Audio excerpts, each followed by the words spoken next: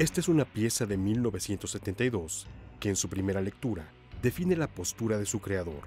Se titula Móvil, un auto cuyas emisiones terminan por matar la planta que lleva encima. Se trata del arte autodestructivo, movimiento iniciado por Gustav Metzger. El Museo Jumex presenta la exposición Debemos convertirnos en idealistas o morir. Nació en Alemania en 1926, eh, de padres polaco-judíos, fue rescatado de un campo de concentración y llevado en ese entonces hasta Inglaterra, donde vivió una gran parte de su niñez, digamos. Fue rescatado junto con uno de sus hermanos y perdió a la mayoría de su familia a partir del holocausto.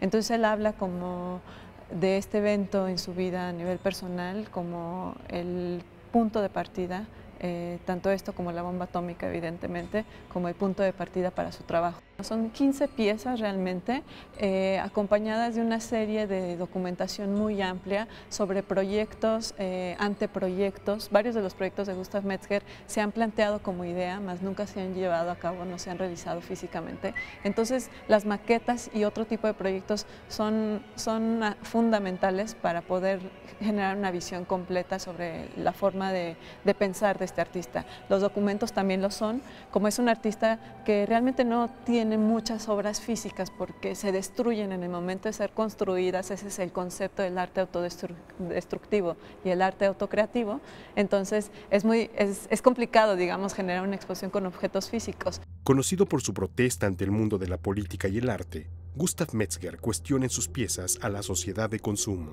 Esta instalación que tenemos a un lado lleva por título Kill the Cars, Camden Town. Es, es, una instalación que forma parte de la serie Historic Photographs.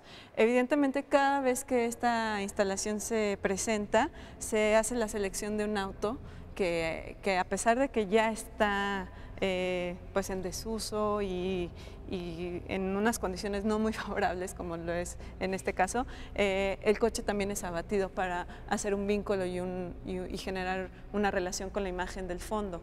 Eh, esta imagen de fondo es una fotografía realmente del fotógrafo Andrew Testa que utiliza Gustav Metzger para ampliarla en este contexto, para generar una crítica bastante fuerte sobre el uso del automóvil en diferentes momentos de la sociedad. Para la instalación Medios Masivos hoy y ayer, el Museo Jumex se apoyó en la donación de periódicos.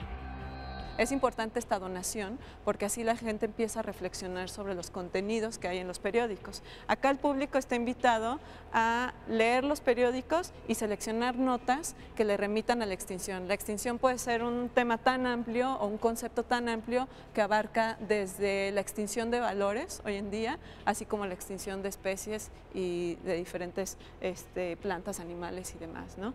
Entonces, bueno, aquí el público está invitado a participar. Eh, llevamos tan solo unos días de la exposición y ya tenemos una gran participación del público. Estos recortes se van a coleccionar para guardarlos y, que el artista los pueda después revisar y generar otras reflexiones en relación a lo que aquí ha aportado el público local. Debemos convertirnos en idealistas o morir de Gustav Metzger permanecerá en el Museo Jumex hasta el 25 de octubre. Noticias 22, Víctor Gaspar.